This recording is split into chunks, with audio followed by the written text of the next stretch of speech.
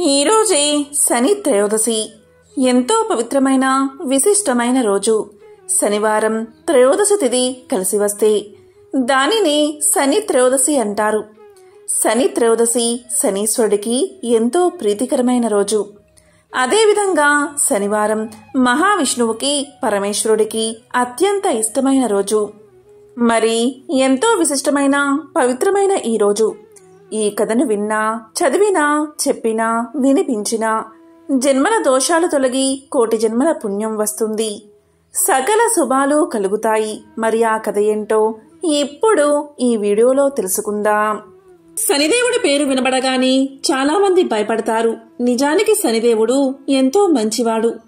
తల్లిదండ్రులు చూపించేంత ప్రేమను శనిదేవుడు చూపిస్తాడు అంటారు.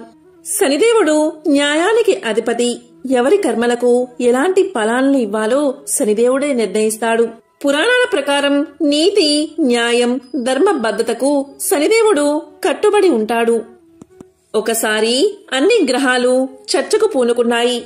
ఆ చర్చలో నేను గొప్ప అంటే కాదు నేనే గొప్ప అనే వాగ్వాదం జరిగింది. అందరిలో అందరికన్నా నేనే గొప్ప అనే భావన ఉంది. ఈ చర్చ ఎంతకీ తెగకపోవడంతో అత్యంత గొప్ప రాజైన విక్రమాదిత్యుణ్ణి సంప్రదించారు నవగ్రహాలు. విక్రమాదిత్య మహారాజుకు న్యాయ విచారణలో గొప్ప రాజుగా పేరు ఉంది. తద్వారా విక్రమాదిత్యుని అన్ని నిర్ణయాలను కూడా అందరూ విశ్వసిస్తారు అలాగే పాటిస్తారు. కాబట్టి ఈ ప్రశ్న విక్రమాదిత్యుని ముందుకు చేరింది. విక్రమాదిత్యుడు తన సపరివారాన్ని పిలిచి ఏడు రకాల లోహాలతో తయారు చేయించిన ఏడు కుర్చీలను ఏర్పాటు చేయమని ఆదేశించాడు. వారంతా రాజు ఆజ్ఞాపించినట్లే చేశారు. అన్ని గ్రహాలను ఒక్కొక్క కుర్చీలో ఆసీనులు కమ్మని సూచించాడు విక్రమాదిత్య మహారాజు. అన్ని గ్రహాల వారు ఎవరికి నచ్చిన కుర్చీలో వారు కూర్చున్నారు.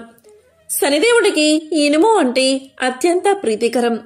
అందువల్ల శనిదేవుడు అన్నిటికన్నా చివరలో ఉన్న ఇనుము కుర్చీపై కూర్చున్నాడు. అప్పుడు విక్రమాదిత్య మహారాజు ఇలా సమాధానం చెప్పాడు. మీరు ఎంచుకున్న కుర్చీల ద్వారా మీ స్థానాలను మీరే నిర్ణయించుకున్నారు అని ప్రకటించాడు. విక్రమాదిత్యుడి సమయ పాలన న్యాయ నిర్ణయానికి గ్రహాలన్నీ ఎంతగానో అతన్ని మెచ్చుకున్నాయి. కాని విక్రమాదిత్యుడి న్యాయం శనిదేవుడికి నచ్చలేదు. ఎంతో నీచమైన స్థానం కల్పించాడని ఎంతో బాధపడ్డాడు శనిదేవుడు. వెంటనే గద్గద స్వరంతో ఓ రాజా నా గురించి నీకు కనీస అవగాహన లేదు. అందుకే ఇటువంటి న్యాయాన్ని సూచించావు. కాని ఒక్కటి గుర్తుపెట్టుకో సూర్యుడు తన రాశిలో ఒక నెల మాత్రమే ఉంటాడు. చంద్రుడు రెండు నెలల కన్నా కొన్ని రోజులు ఎక్కువగా ఉంటాడు. గురుడు ఒకటిన్నర నెలపాటు ఉంటాడు. బృహస్పతి పదమూడు నెలలు ఉంటాడు. మరియు బుధుడు శుక్రుడు ఒక్కొక్క నెల మాత్రమే తమ రాసుల్లో ఉంటారు. కానీ నేనొక్కడినే. అందరికన్నా ఎక్కువ కాలం గరిష్టంగా రెండున్నర సంవత్సరాల నుండి ఏడున్నర సంవత్సరాల వరకు రాశిలో ఉంటాను. ఏనాటి సరి ప్రభావం రాజులను దేవతలను కూడా వదిలిపెట్టదు. ఆఖరికి శ్రీరాముడు కూడా ఏనాటి శని కారణంగా వనవాసానికి వెళ్ళవలసి వచ్చింది. అది కూడా నా ఏడున్నర సంవత్సరాల ఏలినాటి శని ప్రభావమే. మరోపక్క ఏలినాటి శని ప్రభావం వల్లే వానరుల సైన్యం సహాయంతో వచ్చిన రాముడి చేతిలో ఓడిపోయి రావణుడు కూడా సంహరించబడ్డాడు. ఇలాంటి అనేక విషయాలు నీకు తెలిసి కూడా నన్ను చులకనగా చేసి చూశావు. ఈ ప్రభావం అనుభవించిన వారికే తెలుస్తుంది అని శనిదేవుడు రాజుకు వివరించి అక్కడ్నుంచి నిష్క్రమించాడు. తద్వారా కాలక్రమేణా శనిదేవుడి ప్రభావంతో ఏనాటి శని కారణంగా విక్రమాదిత్యుడు కూడా అనేక కష్టాలను ఎదుర్కోవలసి వచ్చింది. విక్రమాదిత్యుడు అడవులకు వెళ్ళాడు. ఆకలితో అలమటించాడు. ఆఖరికి నూనె గింజల నుండి నూనెను తీసే పనికి కూడా ఉపక్రమించాడు. క్రమంగా ఇలాంటి అనేక కష్టసాధ్యమైన మరియు ఊహకు కూడా అందని పనులకు కూడా ఉపక్రమించవలసి వచ్చింది. చివరికి ఈ సమస్యలు చేతులు తెగేదాకా కూడా వెళ్ళాయి అంటే ఆశ్చర్యం కలగక మానదు. విక్రమాదిత్యుడు తన చివరి ఏనాటి శని రోజుల్లో పొలాల్లో కూడా పనిచేశాడు. క్రమంగా ఏలినాటి శని చివరి రోజున పనిలో భాగంగా గట్టిగా పాడుతూ ఉండగా ఆ గొంతు ఒక రాజు కూతురు చెవిన పడి విక్రమాదిత్యుణ్ణి పెళ్ళి చేసుకోవడానికి ఇష్టపడి సిద్ధపడింది. ఆమె అతని కష్టాలను చూసి చలించింది కాని అతను కూడా రాజు అన్న విషయం ఆమెకు తెలీదు. వీరి పెళ్ళి ద్వారా నెమ్మదిగా విక్రమాదిత్యునికి తన రాజభోగాలను కీర్తి ప్రతిష్టలను తిరిగి తెచ్చిపెట్టాయి. అప్పుడు కాని విక్రమాదిత్యుడికి శనిదేవుడి బలం గురించి అంచనాలకు రాలేకపోయాడు. చేసిన తప్పుకు పశ్చాత్తాపం చెందిన విక్రమాదిత్యుడు ప్రతి శనివారం శనిదేవునికి ఉపవాస దీక్షను ఆరంభించాలని సంకల్పించాడు. దీనివల్ల విక్రమాదిత్యుడు తన తప్పు సరిదిద్దుకోవడానికి ప్రతిరోజు విగ్రహారాధన చేసేవాడు కూడా. విక్రమాదిత్యుడు తన ఉపవాస దీక్షాకాలాన్ని పూర్తి చేసుకున్న తర్వాత తన రాజభోగ వైభోగాలను తిరిగి పొంది సుఖ సంతోషాలతో రాజ్యపాలన చేశాడు. అప్పటి నుండి శనిదేవుణ్ణి తన ప్రధాన ఆరాధ్య దైవంగా భావించాడు విక్రమాదిత్య మహారాజు. హనుమంతుడు రామసేతు నిర్మాణంలో నిమగ్నమై ఉండగా శని భగవానుడు హనుమంతుణ్ణి బంధించేందుకు అక్కడికి వచ్చాడు. రెండున్నర గంటల సేపు హనుమను పట్టేందుకు వచ్చిన శనీశ్వరుడికి ఆంజనేయుడు చుక్కలు చూపించాడు. శని భగవానుడు హనుమంతుడి దగ్గరికి వచ్చి ఇలా అన్నాడు హనుమా నేను నిన్ను రెండున్నర గంటల పాటు పట్టుకోవాలి అనుకుంటున్నాను. నీ శరీరంలో ఏదైనా ఒక ప్రాంతాన్ని నాకివ్వు అని అడుగుతాడు. అప్పుడు హనుమంతుడు ఇలా అనుకుంటాడు నేను రామసేతు నిర్మాణంలో నిమగ్నమై ఉన్నాను. నువ్వు ఈ సమయంలో వచ్చి నన్ను పట్టుకుంటాను అంటావేమిటి? నువ్వు నా పనికి చాలా అంతరాయం కలిగిస్తున్నావు. అయినా నేను నీకు నా తలభాగం ఇస్తున్నాను. అక్కడ ఎక్కి నువ్వు కూర్చోవచ్చు అంటాడు హనుమంతుడు. హనుమంతుడు అలా పలకగానే శని భగవానుడు చటుక్కున తలపైకి ఎక్కి కూర్చున్నాడు. ఇటు హనుమంతుడు రామసేతు నిర్మాణంలో నిమగ్నమైపోయాడు. రాళ్ళను కొండలను తన తలపై మోయసాగాడు. ఆ బరువులను తట్టుకోలేక తలపై కూర్చున్న శని భగవానుడు గగ్గోలు పెట్టడం మొదలుపెట్టాడు. అప్పుడు హనుమంతుడు ఇలా అన్నాడు నువ్వు నా తలపై రెండున్నర గంటల పాటు కూర్చుంటాను అన్నావు. కాబట్టి మాట తప్పకూడదు. తప్పనిసరిగా రెండున్నర గంటల సేపు ఉండాల్సిందే అని షరతును విధిస్తాడు హనుమంతుడు. ఆ రెండున్నర గంటల తర్వాతే హనుమంతుడు శనీశ్వరుణ్ణి తల నుంచి కిందకి దించుతాడు. అప్పుడు శని ఇలా పలుకుతాడు. ఆంజనేయ నీ భక్తులను అలాగే రామ భక్తులను నేనేమీ చేయను.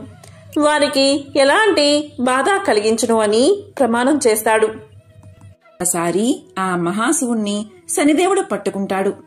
ఆ సమయంలో ఆ మహాశివుడు శనిదేవుడితో ఇలా అంటాడు ఓ శనిదేవా నువ్వు నన్ను పట్టుకుంటే పట్టుకున్నావు. కాని నా అంశతో ఉన్న హనుమంతుణ్ణి పట్టుకో. నీ సంగతి ఏంటో తెలుస్తుంది. అతన్ని పట్టుకోవడం నీ వల్ల కాదు అంటాడు మహాశివుడు. దానికి శనిదేవుడు ఇలా పలుకుతాడు. ఓ మహేశ్వరా నిన్నే కాదు ఆ ఆంజనేయుని కూడా పట్టుకుంటాను అని చెప్పి ఆంజనేయుని పట్టుకోవడానికి శనిదేవుడు బయలుదేరతాడు. ఈ విధంగా శనిదేవుడు వెళ్ళేటప్పుడు సూర్యుడి దగ్గరికి వెళ్ళి ఆశీర్వాదాలు తీసుకుందాం అని అనుకుంటాడు. ఇక శనిదేవుడు తన తండ్రి అయిన సూర్యుడి దగ్గరికి వెళ్ళి నేను ఒక పని మీద వెళ్తున్నాను. నన్ను ఆశీర్వదించండి అని అంటాడు. ఇక తండ్రి అయిన సూర్యుడికి విషయం అర్థమవుతుంది. ఓ పుత్ర శనీశ్వర నీవు నా పుత్రుడవు. హనుమంతుడు కూడా నాకు పుత్రుడు కంటే ఎక్కువ. నా దగ్గర చదువుకున్న శిష్యుడు పేరుకే శిష్యుడు కాని ఆయన సకల దేవతా స్వరూపుడు. పొరపాటున ఆయన జోలికి వెళ్తే అనవసరంగా చావు దెబ్బలు తినాల్సి వస్తుంది. కాబట్టి నువ్వు అతని జోలికి వెళ్ళవద్దు. ఆంజనేయుడు మహాబల పరాక్రమవంతుడు. అతను పుట్టిన ఆరవ రోజే పైకి ఎగిరి నన్నే అంటే నీ తండ్రి అయిన నన్నే మింగపోయాడు అంతటి గొప్ప మహానుభావుడు ఆయన. అతని సంగతి నీకు తెలియదు. కాబట్టి అతని జోలికి వెళ్ళొద్దు అని వారిస్తాడు సూర్యుడు. అప్పుడు శనిదేవుడు ఇలా పలుకుతాడు.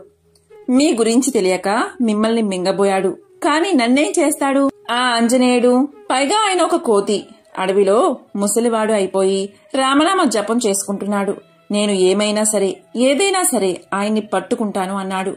దానికి సూర్యుడు సరే నేను మాత్రం నిన్ను ఆశీర్వదించను. హనుమంతుడి దగ్గర కుప్పి గంతులు వేయడానికి వెళ్తున్నావు అంటున్నావు. విజయం పొందాలని ఎలా ఆశీర్వదిస్తాను? హనుమంతుడు నా శిష్యుడు అవడమే కాకుండా ఆయన మహానుభావుడు. నీవు హనుమంతుడిని పట్టుకుంటాను అంటున్నావు. నీవు వెళ్ళే పనిలో విజయం ప్రాప్తించునుగాక అని నేను దీవిస్తే నా మాట వ్యర్థమైపోతుంది. కాబట్టి దీవించకుండా ఉంటేనే నా పరువు నిలబడుతుంది. కాబట్టి నేను దీవించిన ఆ దీవెన ప్రస్తుతం ఫలించదు.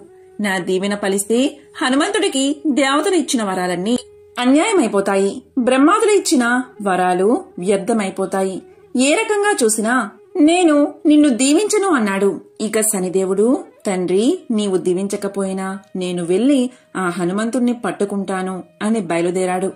ఆ సమయంలో గంధమాదన పర్వతంపై సూర్యుడు ఉదయిస్తున్న వేళ శనివారం రోజు. ఎప్పుడైనా శనివారం రోజున శనికి బలం ఎక్కువ ఉంటుంది. ఆయన ఆంజనేయ స్వామిని పట్టుకోవడానికి వచ్చాడు. హనుమంతుడు సూర్యోదయ సమయానికి హాయిగా స్నానాదులు పూర్తి చేసుకుని బండ రాయి మీద కూర్చుని అపూర్వ రీతిలో భక్తితో రామచంద్ర ప్రభు గానం చేసుకుంటూ ఉన్నాడు. ఆయన రోజంతా రామ రామ అని గానం చేస్తూనే ఉంటాడు. ఆ సమయంలో శనిదేవుడు హనుమంతుని దగ్గరకు వచ్చాడు. అక్కడకు వచ్చి ఆంజనేయ బాగున్నావా? అన్నాడు. ఆంజనేయుడు శనివైపు చూసి ఓ గురుపుత్ర ఇలా వచ్చారు ఏమిటి? అని అడిగాడు. ఇదిగో ఇక్కడ కూర్చోండి అన్నాడు ఆంజనేయుడు. దానికి శనిదేవుడు ఇలా అంటాడు. కూర్చోవడానికి నాకు ఆసనం ఇచ్చావు కదా. ఆ ఆసనం మీద నేను కూర్చోను. ఇంకొక ఆసనం మీద కూర్చుంటాను అని అంటాడు. ఎక్కడా అని ఆంజనేయుడు ప్రశ్నిస్తాడు. నీ నెత్తి మీద కూర్చుంటాను. సరిగ్గా మాడు మీద కూర్చుని నిన్ను ఈ రోజు నుంచి ఏడున్నర సంవత్సరాలు పట్టుకుంటాను. నీకు నా ప్రభావం వల్ల ఏం చేస్తున్నావో అసలు అర్థమే కాదు. అసలే కోతివి. అందరూ నిన్ను చూసి అపహాస్యం చేస్తారు అని పలుకుతాడు శనిదేవుడు. దానికి ఆంజనేయస్వామి శనిదేవుడితో ఇలా అంటాడు. నాయనా నేను ముసలవాణ్ణి అయిపోయాను. హాయిగా రామనామ స్మరణ చేసుకుంటున్నాను. భార్య కుటుంబం ఎటువంటి బంధాలకు లొంగకుండా వీటికి అతీతంగా ఏదో రామా రామా అని నా జీవితాన్ని కొనసాగిస్తూ ఉంటే ఎందుకు ఈ ప్రశాంత వాతావరణంలోకి వచ్చి నన్ను పట్టుకోవడం? ఏదో భూలోకంలో ఏ ప్రభువునో పట్టుకుంటే అర్థముంది. డబ్బున్న వాడిని పట్టుకుంటే అర్థముంది. చదువుకునేవాడిని పట్టుకుంటే అర్థముంది. అన్నిటికీ అతీతంగా నైమిసారణ్యము అనే దివ్యక్షేత్రంలో ఉండే ఋషుల జోలికి నీవు ఎప్పుడూ వెళ్ళకు ఋషుల జోలికి వెళ్తే వారు నిన్ను శపిస్తారు. నేను వానరుణ్ణి. ఈ గంధమాదన పర్వతంలో రోజు రామనామ స్మరణతో ఏదో కాలం చేస్తున్నాను. నా మాట విని నన్ను వదిలే అన్నాడు. దానికి శనిదేవుడు ఇలా అంటాడు. లేదు లేదు. నాకు ఇప్పుడు విజయం పొంది తీరాలి అనే కోరిక కలిగింది. ఆ మహాశివుడితోటి నేను సవాలు చేసి వచ్చాను. ఈశ్వరుడు నాతో నన్ను పట్టుకుంటే పట్టుకున్నావు. నా అంశతో ఉన్న హనుమంతుని పట్టుకుంటే నీ సంగతి తెలుస్తుంది అన్నాడు. కాబట్టి నేను ఈశ్వరుడి దగ్గర శపథం చేసి వచ్చాను. ఆ శపథాన్ని నెరవేర్చుకోవాలని మా నాన్న దగ్గర కూడా శపథం చేసి వచ్చాను. వీటన్నిటినీ మించి నేను శనిగ్రహాన్ని నేను పట్టుకుంటే ఎవరైనా భ్రష్టుడైపోవలసిందే. నిన్ను పట్టుకుంటాను నిన్ను పీడిస్తాను అన్నాడు శనిదేవుడు. దానికి హనుమంతుడు ఎలా పట్టుకుంటావు? అన్నాడు. దానికి శనిదేవుడు ఏముంది? నీ నెత్తి మీద కూర్చుంటాను అన్నాడు. ఏది కూర్చో? అన్నాడు ఆంజనేయుడు.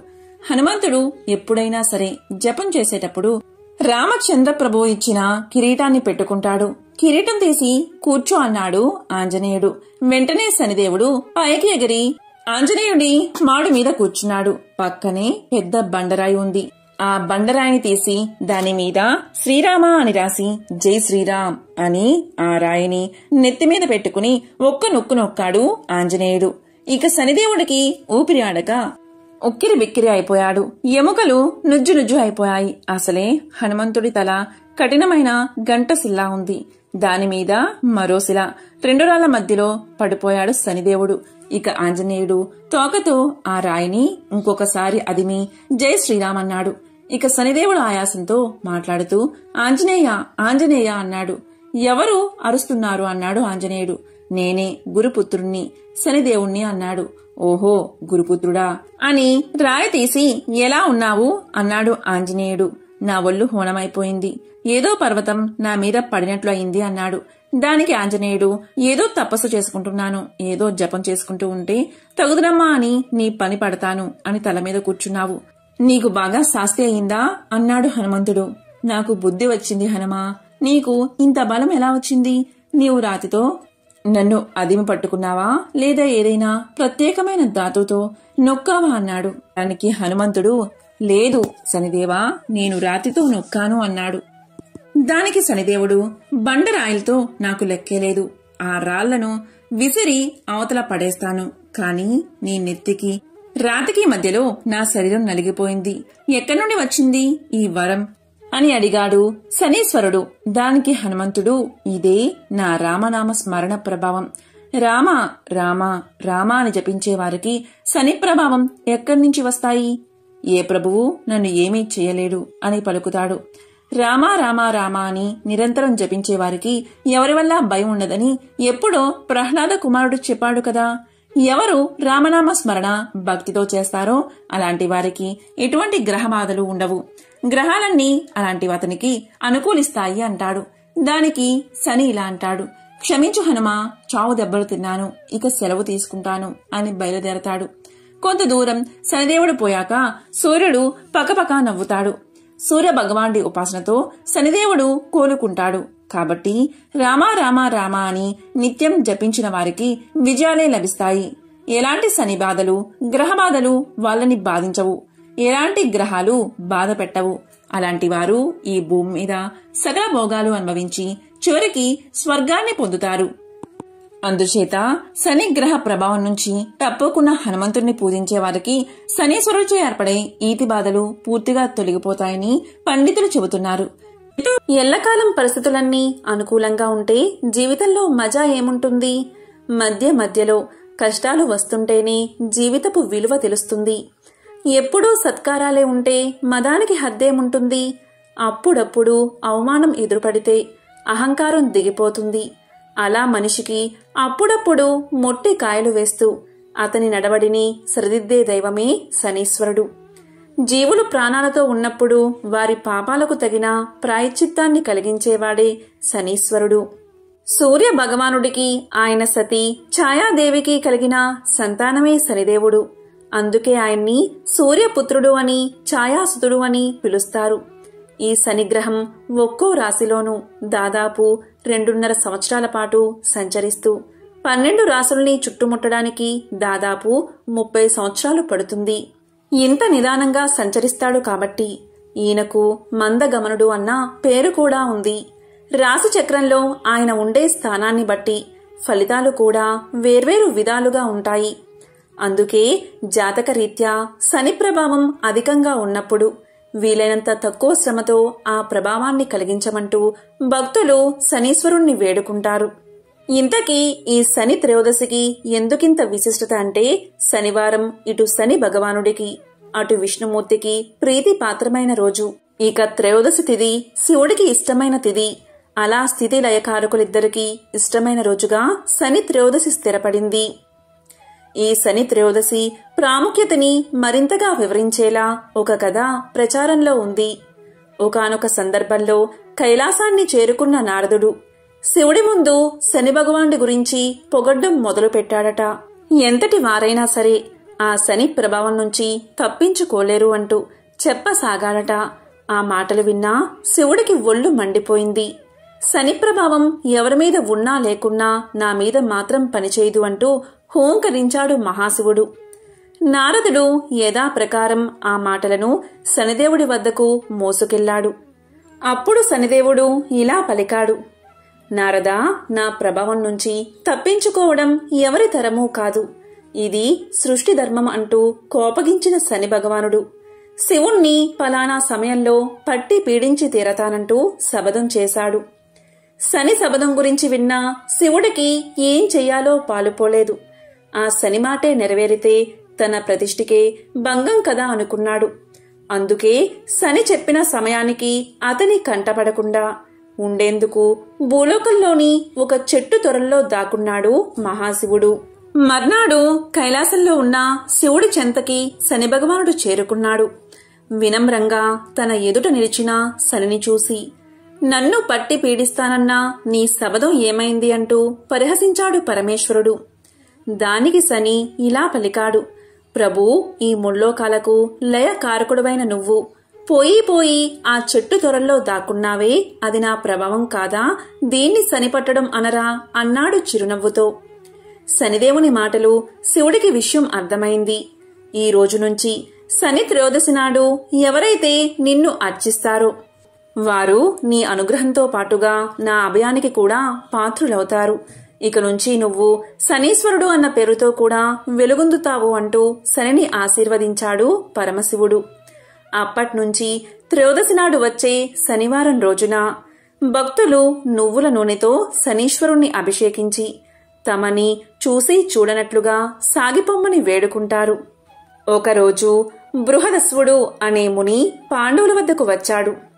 అప్పుడు పాండవుల్లో పెద్దవాడైన ధర్మరాజు ఆ మునికి అతిథి సత్కార్యాలు చేసి కౌరవుల వల్ల తాము పడుతున్న బాధలు అన్నీ వివరించి మహాత్మా రాజ్యాన్ని నివాసాన్ని పోగొట్టుకున్న మాలాగా అడవిలో కష్టాలు పడుతున్నవారు ఎవరైనా ఉన్నారా? ఉంటే చెప్పండి అని అడిగాడు. అందుకు బృహదస్వుడు ఇలా పలికాడు. ధర్మరాజా నీవు కష్టాలు పడుతూ అడవుల్లో ఉన్న నీ వెంట నీ అన్నదమ్ములు నీ భార్య నీ హితం కోరే విప్రులు నీ వెంట ఉన్నారు. పూర్వం నలుడు అనే మహారాజు నీవలే జూదంలో సర్వం కోల్పోయి పుష్కరునికి రాజ్యాన్ని అప్పగించి భార్యా సమేతుడై ఒంటరిగా అరణ్యాలకు వెళ్ళాడు అని చెప్పాడు. అది విని ధర్మరాజు మహాత్మా నాకు నకులుని కదా వివరించండి అని అడిగాడు. అప్పుడు బృహదస్వుడు ఇలా చెప్పడం ఆరంభించాడు. నిషిత దేశాన్ని వీరసేనుడి కుమారుడైన నలుడు పరిపాలిస్తున్న కాలమది. తన పరాక్రమంతో ఎన్నో దేశాలను జయించి ప్రజారంజకంగా పరిపాలిస్తున్నాడు. నలుడికి జూదం అంటే ఎక్కువ ప్రీతి. ఆ కాలంలో విదర్భ దేశాన్ని భీముడు అనే రాజు పరిపాలిస్తున్నాడు. చాలా కాలం అతనికి సంతానం లేదు. అతనికి దమనుడు అనే మునిచ్చిన వరం వల్ల. దమయంతి అనే కూతురు దముడు దమనుడు దాంతుడు అనే కుమారులు కలిగారు. దమయంతి సౌందర్య రాశి గుణవంతురాలు. దమయంతి నలుడి గుణగణాల గురించి విన్నది. నలుడు దమయంతి గురించి ఆమె సౌందర్యం గురించి విన్నాడు. ఇరువురి నడుమ ప్రేమ అంకురించింది. ఒకరోజు నలుడు ఉద్యానవనంలో ఉండగా హంసల గుంపు వచ్చి అక్కడ వాలింది. ఆ హంసలను చూసి ముచ్చటపడి నలుడు వాటిలో ఒకదాన్ని పట్టుకున్నాడు. మిగిలిన హంసలు తోటి హంసను విడిచి వెళ్ళలేక ఆకాశంలో తిరుగుతున్నాయి. నలునితో అతని చేతిలోని హంస మానవ భాషలో ఇలా పలికింది. ఓ నలమహారాజా నీవు దమయంతిని ప్రేమిస్తున్నావు. నేను దమయంతి వద్దకు వెళ్ళి నీ గురించి నీ అంద చందాల గురించి గుణగణాల గురించి చెప్పి నీ మీద అనురాగం కలిగేలా చేస్తాను అని పలికింది. ఆ హంస పలుకులు విని నలుడు ఆనందపడి దాన్ని విడిచిపెట్టాడు. ఇచ్చిన మాట ప్రకారం ఆ హంస విదర్భ దేశానికి ఎగిరిపోయింది. అంతఃపురం ముందు విహరిస్తున్న హంసను చూసి దమయంతి ముచ్చటపడింది. చెలికత్తెల సాయంతో దమయంతి ఆ హంసను పట్టుకుంది. ఆ హంస దమయంతితో ఇలా పలికింది. ఓ దమయంతి నేను నీ హృదయేశ్వరుడైన నలుడి వద్ద నుండి వచ్చాను. నలుడు సౌందర్యవతుడు సంపన్నుడు సద్గుణవంతుడు. నీవు సౌందర్యంలో గుణంలో అతనికి తగినదానివి. అతనికి భార్యవైతేనే నీకు రాణింపు అని పలికింది. అప్పుడు దమయంతి ఓ హంస నరుడు గురించి నాకు ఎలా చెప్పావో అలాగే నరుడికి కూడా నా గురించి చెప్పు అన్నది. ఆ హంస అలాగే చేసింది. ఇలా ఇరువురికి ఒకరిపై ఒకరికి అనురాగం అధికమైంది. నలా దమయంతుల ప్రణయ విషయం. దమయంతి చెలికత్తెల ద్వారా తెలుసుకున్న భీమ మహారాజు కుమార్తెకు స్వయంవరం ప్రకటించాడు. ఆహ్వానాన్ని అందుకున్న రాజులంతా స్వయంవరానికి విచ్చేశారు. నలుడు కూడా స్వయంవరానికి పోతున్నాడు. ఇంద్రుడికి దమయంతి స్వయంవర విశేషం తెలిసి దిక్పాలకులతో స్వయంవరానికి బయలుదేరాడు. మార్గమధ్యలో నలుణ్ణి చూసిన ఇంద్రుడు నలుడితో నిషధరాజా నీవు నాకు దోతగా పనిచేయాలి అన్నాడు. అప్పుడు నలుడు అలాగే చేస్తాను. ఇంతకీ మీరెవరు? నేను నీకేమి చెయ్యాలి? అని అడిగాడు. అప్పుడు ఇంద్రుడు నలునితో నేను ఇంద్రుణ్ణి. వీరు దిక్పాలకులు. నీవు పోయి దమయంతికి మా గురించి చెప్పి. ఆమె మమ్మల్ని వరించేలా చెయ్యాలి అన్నాడు. అప్పుడు నలుడు ఇంద్రునితో అయ్యా నీకిది ధర్మమా? నేను కూడా అదే పని మీద పోతున్నాను కదా అన్నాడు. అప్పుడు ఇంద్రుడు నలునితో నీవు మాకు మాటిచ్చావు కనుక ఈ కార్యం చేయవలసిందే. ఇది దేవతా కార్యం. నీవు చేయగలవు. మాట తప్పడం ధర్మం కాదు. మా మహిమ చేత అంతఃపురానికి వెళ్ళడానికి నీకు ఎవరూ అడ్డు చెప్పరు అన్నాడు. గత్యంతరం లేక నలుడు దమయంతి అంతఃపురంలో ప్రవేశించాడు. నలుడు దమయంతిని మొదటిసారిగా చూసి హంస చెప్పిన దానికంటే దమయంతి సౌందర్యవతి అనుకున్నాడు. దమయంతి ఆమె చెలికత్తెలు. నలుణ్ణి చూసి ఆశ్చర్యపోయారు. దమయంతి నలుణ్ణి చూసి మహాత్మా మీరు ఎవరు? ఎక్కడి నుండి వచ్చారు? ఈ అంతఃపురంలో ఎవరికీ కనబడకుండా ఎలా ప్రవేశించారు? అని అడిగింది. అప్పుడు నలుడు దమయంతితో నా పేరు నలుడు నేను దేవదూతగా వచ్చాను. దిక్పాలకులు వారిలో ఒకరిని వరించమని నీకు చెప్పమని నన్ను పంపారు అన్నాడు. నలుడి మాటలకు ఆమె మనసు కష్టపడింది. అయ్యా నేను మానవకాంతను నమస్కారం చేయవలసిన దేవతలను వరించడం ధర్మమా? నాడు హంస చెప్పింది మొదలు. నిన్నే నా భర్తగా తలుచుకుంటున్నాను. నా తండ్రి భీమరాజు మిమ్మల్ని ఇక్కడికి రప్పించడానికే స్వయంవరం ప్రకటించాడు. మీరే నా భర్త కనుక నన్ను స్వీకరించండి. లేకుంటే నా ప్రాణాలను తీసేసుకుంటాను. అంతేకాని ఇతరులను వరించను అని దమయంతి ప్రార్థించింది. అప్పుడు నలుడు దమయంతితో దమయంతి దేవతలు ఐశ్వర్యవంతులు. జరా మరణాలు లేనివారు. వారిని కాదని జరా మరణాలకు ఆలవాలమైన నన్ను కోరడం న్యాయమా అని పలికాడు. ఆ మాటలు విని దమయంతి దుఃఖించింది. ఆమె నలుడితో నేను ఒక ఉపాయం చెప్తాను. అందరి ముందు నేను దేవతలను ప్రార్థించి మిమ్మల్ని వివాహం చేసుకుంటాను. అప్పుడు మీకు దేవతల మాట వినలేదన్నా దోషం ఉండదు అని పలికింది. ఆ మాటలు నలుడు ఇంద్రుడికి చెప్పాడు. అది విని దిక్పాలకులు దమయంతి మమ్మల్ని ఎలా వరించదో చూస్తాము అని అందరూ నలుడి రూపంలో స్వయంవరానికి విచ్చేశారు. స్వయంవర మండపంలో ఒకేసారి ఐదుగురు నల్లు కనిపించారు. దమయంతి వరమాల పట్టుకుని వచ్చింది. మనసులో ధ్యానించి దేవతలారా నలుణ్ణి గుర్తుపట్టడంలో నాకు సహకరించండి. మీ నిజ రూపాలతో ప్రత్యక్షం అవ్వండి అని ప్రార్థించింది. వారు దమయంతిని కరుణించి తమ నిజ రూపాలతో ప్రత్యక్షం అయ్యారు. నలా దమయంతులకు వైభవోపేతంగా వివాహం జరిగింది. ఇంద్రాది దేవతలు అనేక వరాలిచ్చి అనుగ్రహించారు. ఇలా దేవతలు దమయంతి స్వయంవరం చూసి దేవలోకం వెళ్తూ ఉండగా దేవతలకు కలి పురుషుడు కనిపించాడు. ఇంద్రుడు కలిపురుషుని చూసి ఎక్కడికి పోతున్నావు? అని అడిగాడు. అప్పుడు కలిపురుషుడు భూలోకంలో జరుగుతున్న దమయంతి స్వయంవరానికి పోతున్నాను అన్నాడు. ఆ మాటలకు వారు నవ్వి దమయంతి స్వయంవరం జరిగింది. ఆమె నలుణ్ణి వివాహం చేసుకుంది అన్నారు. దీంతో కలికి కోపం వచ్చింది. నలుడిని రాజ్యభ్రష్టుణ్ణి చేసి వారిద్దరికీ వియోగం కల్పించాలి అనుకున్నాడు.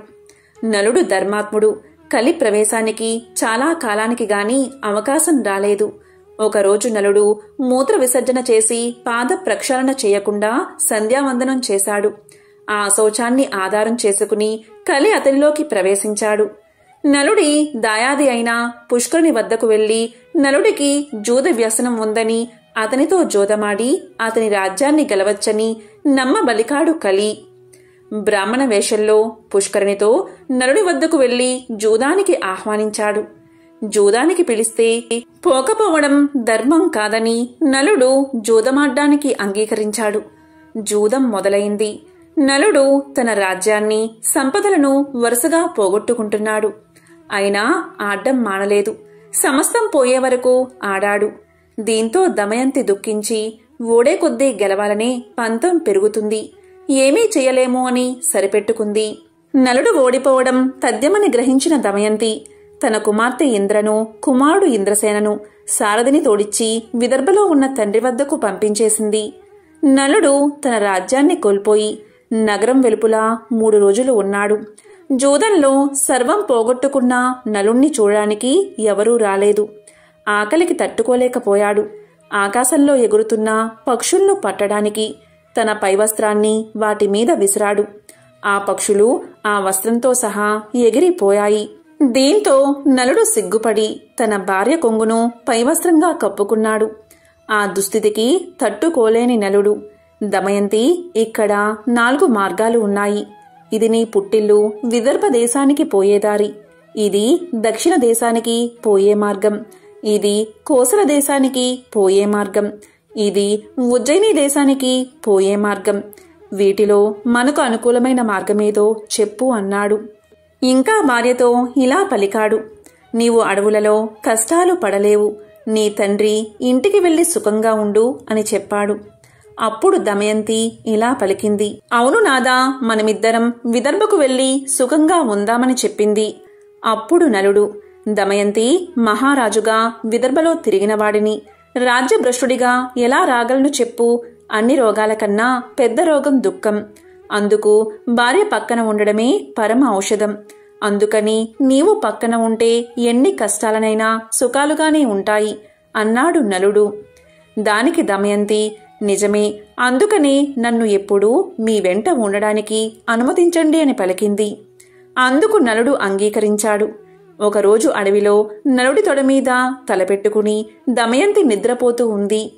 ఆమెని చూసి నలుడు ఈ సుకుమారి నాతో అడవుల్లో కష్టాలు పడుతుంది. నా వెంట ఉండడమే ఈమె కష్టాలకు కారణం. నేనే లేకపోతే ఈమె పుట్టింటికి వెళ్ళి సుఖపడుతుంది అని మనసులో అనుకుని తాను ధరించిన చీర భాగాన్ని చింపి పైన వేసుకుని ఆమెను వదల్లేక వదల్లేక విడిచి వెళ్ళాడు. నిద్ర లేచిన దమయంతి భర్త లేకపోవడం చూసి ఎంతో దుఃఖించింది. భర్తను తలుచుకుంటూ అడవిలో తిరుగుతున్న దమయంతిని ఒక కొండ చిలువ పట్టుకుంది. భయంతో దమయంతి కేకలు వేసింది. ఆ కేకలు విని ఒక కిరాతకుడు తన కత్తితో ఆ కొండ చిలువను చంపి దమయంతిని రక్షించాడు.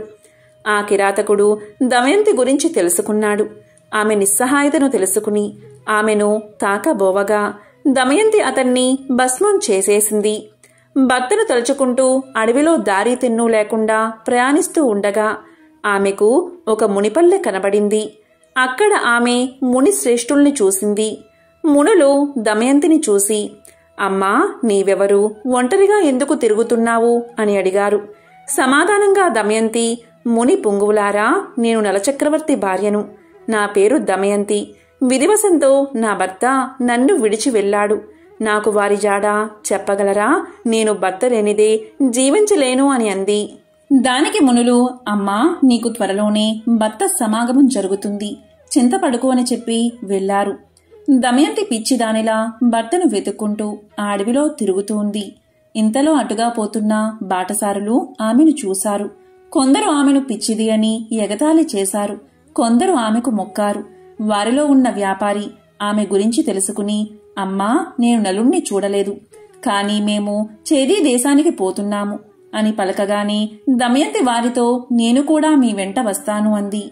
ఆ వ్యాపారి ఆమెను తన వెంట తీసుకువెళ్ళాడు వారు అడవి మార్గంలో రాత్రివేళ నిద్రిస్తున్న సమయంలో ఒక ఏనుగుల గుంపు వారిలో చాలామందిని తొక్కేసింది.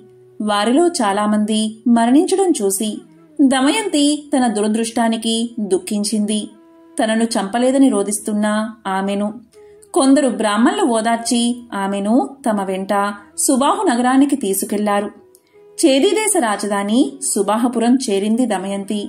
ఉళ్ళంతా దుమ్ముతో వీధిలో వెళ్తున్న దమయంతిని రాజమాత చూసి దాసీలను పంపి దమయంతిని అంతఃపురానికి పిలిపించింది. రాజమాత దమయంతితో అమ్మా నిన్ను చూస్తుంటే రాచకల ఉట్టిపడుతుంది నీవు ఎవరు? అని అడిగింది. దానికి దమయంతి అమ్మా నా భర్త జోదంలో రాజ్యాన్ని పోగొట్టుకున్నాడు. నన్ను అడవిలో ఒంటరిగా విడిచి వెళ్ళాడు. అతన్ని వెతుకుతూ తిరుగుతున్నాను అని చెప్పింది. దానికి రాజమాత అమ్మా ఇక నుండి నువ్వు నా దగ్గర సైరంద్రిగా ఉండు. నీకు ఏ లోటు రాకుండా నేను చూస్తాను. నీ భర్తను వెతికి తెస్తాను అని చెప్పింది. దమయంతి అందుకు అంగీకరించి అలాగే ఉంటాను. కానీ నేను సైరంధ్రిగా ఎవరి ఎంగిలి తినను. పరులకు కాళ్ళు పట్టను. పరపురుషులతో మాట్లాడను. కేవలం నా భర్తను వెతుకుతూ వెళ్ళే బ్రాహ్మణులతో మాత్రం మాట్లాడతాను అని చెప్పింది. రాజమాత అందుకు అంగీకరించి తన కుమార్తె సునంద వద్దకు పంపింది. దమయంతి అక్కడే ఉండిపోయింది. దమయంతిని వదిలి వెళ్ళిన నలుడు అడవిలో ప్రయాణిస్తూ ఉండగా అడవి అంతటా దావానలం వ్యాపించింది. ఆ మంటల మధ్య నుంచి రక్షించండి రక్షించండి అన్న ఆర్తనాదం వినిపించింది. ఆ ఆర్తనాదం విని నలుడు అగ్ని కీలల నడుమ ఉన్న నాగకుమారుణ్ణి రక్షించాడు. ఆ పాము నలుణ్ణి కాటేసింది. పాము కాటుకు నలుడు వికృత రూపుడయ్యాడు. అప్పుడు ఆ పాము తన నిజరూపంతో ప్రత్యక్షమై నలుడితో నల మహారాజా నా పేరు కర్కోటకుడు. నేను నిన్ను కాటేశానని భయపడకు. ఇక నిన్ను ఎవరూ గుర్తించరు. పాము కాటు నిన్నేమీ చెయ్యదు నీ రాజ్యం నీకు ప్రాప్తిస్తుంది. నీ భార్య నీకు దక్కుతుంది. నీకు ఎప్పుడు నిజరూపం కావాలన్నా. నన్ను తలుచుకుంటే నీ వద్దకు ఒక వస్త్రం ఎగురుతూ వస్తుంది. దాన్ని కప్పుకుంటే నీ పూర్వాకృతి వస్తుంది. నీకు మరొక విషయం చెప్తాను. ఇక్కడికి దగ్గరలో ఇక్ష్వాకు వంశస్థుడైన ఋతుపర్ణుని రాజ్యముంది. నీవు అక్కడికి వెళ్ళు. బాహుకుడు అనే పేరుతో అతని వద్ద రథసారథిగా చేరు. నీవు అతడికి అశ్వహృదయం అనే విద్యను ఇచ్చి అతని నుండి అక్షహృదయం అనే విద్యను గ్రహించు అని చెప్పి కర్కోటకుడు వెళ్ళిపోయాడు. నలుడు రుతుపర్ణుని వద్ద సారథిగా చేరాడు. అలాగే వంటశాలలో చేరి రుచికరమైన వంటలు వండిపెట్టసాగాడు. నలుడికి జీవలుడు సహాయకుడిగా ఉన్నాడు. ఎక్కడ ఉన్నా నలుడు ఎప్పుడూ దమయంతిని తలచి దుఃఖిస్తూనే ఉండేవాడు. ఒకరోజు నలుడు దమయంతిని తలుచుకుని దుఃఖిస్తూ ఉండగా జీవనుడు విని ఈ వికృత రూపి ప్రియురాలు ఎంత వికృత రూపంతో ఉంటుందో అనుకుంటూ నలుడి దగ్గరకు వచ్చి విషయం ఏమిటని అడిగాడు. అందుకు నలుడు జీవలునితో అయ్యా నాకు ఒక ప్రేయసి కూడానా? నాకు తెలిసిన ఒక సైనికుడు తన ప్రేయసి గురించి దుఃఖిస్తుండగా చూశాను. అతన్ని అనుకరిస్తూ ఏడుస్తున్నాను అన్నాడు. విదర్భ దేశంలో ఉన్న భీమునికి నలుడి విషయాలు తెలిసాయి. తన కూతురు అల్లుడు ఏమయ్యారో అని పరితపించాడు అతను. వారిని వెతకడానికి నలువైపులా బ్రాహ్మణులు పంపించాడు. ఎన్నో బహుమానాలు ప్రకటించాడు. చేదీ దేశం చేరిన బ్రాహ్మణుడు దమయంతి నుదుటిన ఉన్న పుట్టు మచ్చను చూసి ఆమెను గుర్తించారు. అతడు దమయంతితో అమ్మా నేను నీ తండ్రి వద్ద నుండి వస్తున్నాను. అక్కడి వారంతా క్షేమం. నేను నీ సోదరుడి మిత్రుడను అనగాని దమయంతి వారిని తలుచుకుని పెద్దగా రోదించింది అది చూసిన రాజమాత ఆ బ్రాహ్మణుణ్ణి చూసి బ్రాహ్మణోత్తమా ఈమె ఎవరి భార్య? ఎవరి కూతురు? ఇలా ఉండడానికి కారణం ఏమిటి? అని అడిగింది. దానికి అతడు అమ్మా ఈమె విదర్భరాజు కుమార్తె. నల చక్రవర్తి భార్య. ఈమె పేరు దమయంతి. నల మహారాజు విధివశాత్తు రాజ్యాన్ని పోగొట్టుకుని అడవుల పాలయ్యాడు. భీముని ఆజ్ఞపై ఈమెను వెతుకుతూ ఇక్కడకు వచ్చి ఈమెను గుర్తించాను అన్నాడు. అది విని దమయంతిని కౌగులించుకున్న రాజమాత దమయంతి నీవు నాకు పుత్రికా సమానురాలివి. నేను నీ తల్లి దశానరాజు కుమార్తెలము. నీ తల్లి విదర్భరాజును వివాహం చేసుకుంది. నేను వీరబాహుణ్ణి వివాహం చేసుకున్నాను అని పలికింది. అందరూ ఎంతో సంతోషించారు. దమయంతి బ్రాహ్మణుడితో పుట్టింటికి ప్రయాణమయ్యింది. రాజసౌధంలో ఉన్న దమయంతి భర్త వియోగంతో బాధపడుతూనే ఉంది. ఆమె తన తండ్రితో నా భర్తను తక్షణం వెతికించండి. ఆయన లేకుండా నేను బతకలేను అంది. భీముడు వెంటనే బ్రాహ్మణుల్ని పిలిచి నలుణ్ణి వెతకమని చెప్పారు. వారితో దమయంతి ఇలా చెప్పింది నా భర్త ఇప్పుడు రాజ్య భ్రష్టుడు కనుక మారువేషంలో ఉంటాడు. మీరు వెళ్ళిన రాజ్యసభలలో ఈ విధంగా ప్రకటించండి. నీవు సత్యసంధుడువు కాని నీ సతిని వంచావు. ఆమె సగం వస్త్రం ధరించి వెళ్ళావు. అలా చేయడం ధర్మమా? నాపై కరుణ చూపు అని చెప్పండి. ఈ మాటలకు ఎవరైనా రోషపడి బదులిస్తే నా వద్దకు వచ్చి చెప్పండి అని పలికింది. అలా నలుణ్ణి వెతకడానికి వెళ్ళిన వారంతా నలుని జాడ తెలుపకపోయినా వారిలో పర్ణాదుడు అనే విప్రుడు దమయంతితో అమ్మా నేను ఋతుపర్ణుని రాజ్యంలో నీవు చెప్పినట్లే చెప్పాను. అక్కడ ఒక కురూపి వంటవాడు. సారథి అయిన బహుకుడు అనేవాడు నన్ను రహస్యంగా కలుసుకుని అయ్యా భర్త కష్టాల్లో ఉన్నా సహించి ఆదరించే భార్య ఇహలోకంలోనూ పరలోకంలోనూ సుఖపడుతుంది అన్నాడు అని దమయంతో చెప్పాడు. దమయంతి ఆలోచించగా అతడు నలుడు కాకపోతే అలా ఎందుకు బదులిస్తాడు? అనుకుంది. తన అనుమానం దృఢపరుచుకోవడానికి తల్లి అనుమతితో సుదేవుడు అనే బ్రాహ్మణుణ్ణి పిలిపించింది. సుదేవా నీవు ఋతుపర్ణుని రాజుతో రాజా భీముడు తన అల్లుడి కొరకు వెతికించినా ఫలితం లేదు. కనుక ద్వితీయ స్వయంవరం ప్రకటించాడు. భూమండలంలోని రాజులంతా వస్తున్నారు. మరునాడే స్వయంవరం కనుక వెంటనే బయలుదేరు అని చెప్పు అని చెప్పి పంపించింది. సుదేవుడు రుతి దమయంతి చెప్పమన్నట్లే చెప్పాడు. దమయంతి బ్రాహ్మణుని ద్వారా పంపిన సందేశం విని ఋతుపర్ణుడు స్వయంవరానికి వెళ్ళాలి అనుకున్నాడు. కానీ ఒక్క రోజులో విదర్భను చేరడం ఎలా? అనుకుని సారథి అయిన బాహుకుని పిలిచి బాహుక దమయంతికి ద్వితీయ స్వయంవరం ప్రకటించారు. నాకు చూడాలని ఉంది. ఒక్క రోజులో మనం విదర్భకు వెళ్ళాలి. నీ అశ్వ సామర్థ్యం ప్రకటించు అన్నాడు. సరే అని చెప్పిన బాహుకుడు అంటే నలుడు. మనసులో కలతకు గురై నేను అడవిలో నిర్దాక్షిణ్యంగా వదిలి రాబట్టే కదా దమయంతి రెండవ స్వయంవరం ప్రకటించింది. అవివేకులైన పురుషులు తాము ఏమి చేసినా భార్య ప్రేమిస్తుందని అనుకుంటారు. కాని అది నిజం కాదు. నా మీద కలిగిన కోపంతో దమయంతి ఇలా చేసిందని దుఃఖించాడు. అయినా దమయంతి పతివ్రత ఇద్దరు పిల్లల తల్లి ఈ విధంగా రెండవ పెళ్ళి చేసుకుంటుందా ఏమో ఆ వింత చూస్తాను అని మనసులో అనుకున్నాడు. వెంటనే రథానికి గుర్రాలను కట్టి విదర్భకు రుతుపన్నుని తీసుకుని ప్రయాణమయ్యాడు.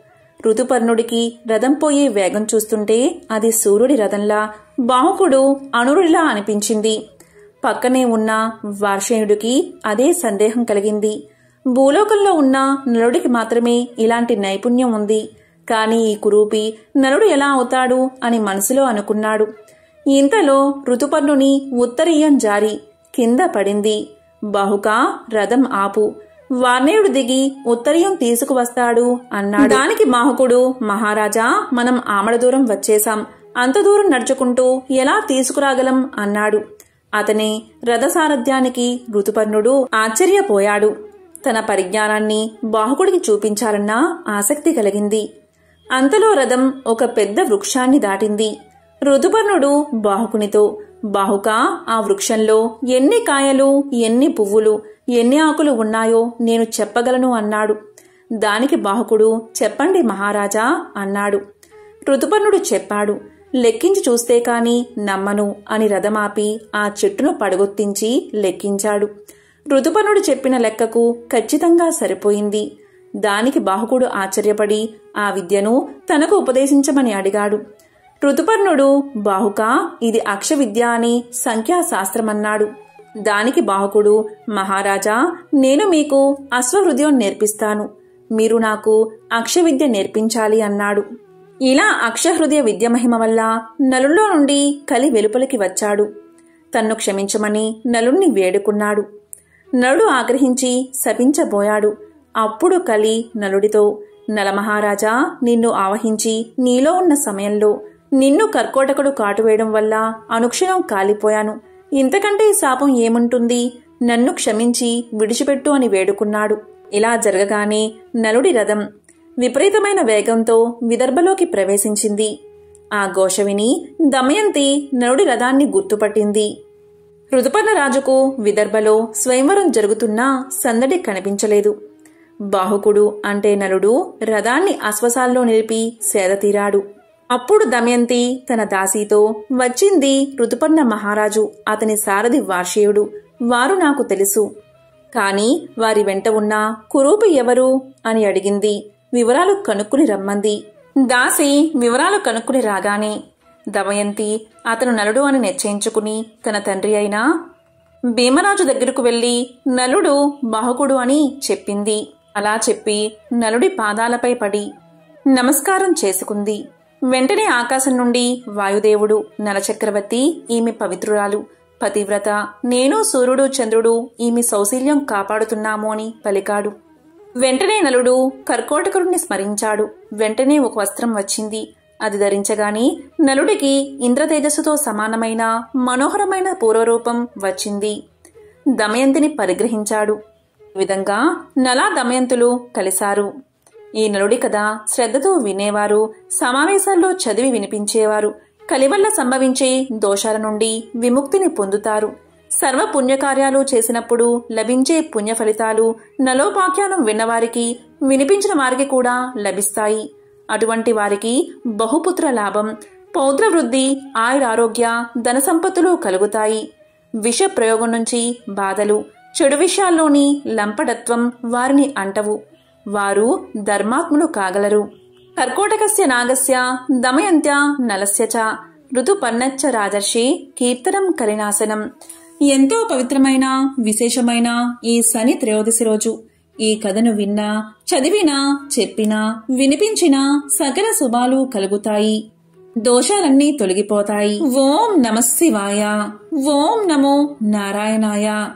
ఓం శనేశ్వరాయ నమః.